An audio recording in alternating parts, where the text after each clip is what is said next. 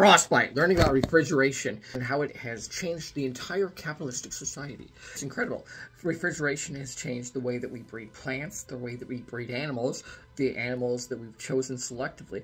It has influenced so many different things. And originally, when we came into the idea of refrigerating things, we were like, that's nasty. You're gonna have food that's a year old? That's nasty. Guess what, sweetheart?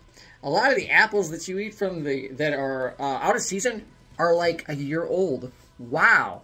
And you just hate knowing that. And we're talking about this. Uh, you can change the refrigerator cartridges out to make food last longer. Like, how would you like your strawberries last four months? And like, that's gross. They're being alive for four months. You do realize that these things live in the wild? They can live so much longer than that. So it's very comprehensive. I love it. It's scientific. I will rate the book 87%. Would have loved to see a longer book.